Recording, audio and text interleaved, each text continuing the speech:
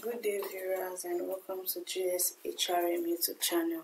On today's section I'll be showing us how to set up the log sheet.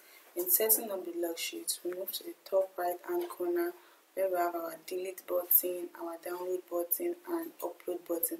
This delete button is used whenever you want to delete information and the download button is used for downloading the information on the page while the upload button is used to upload multiple files that will be all on log sheet. Thank you for joining us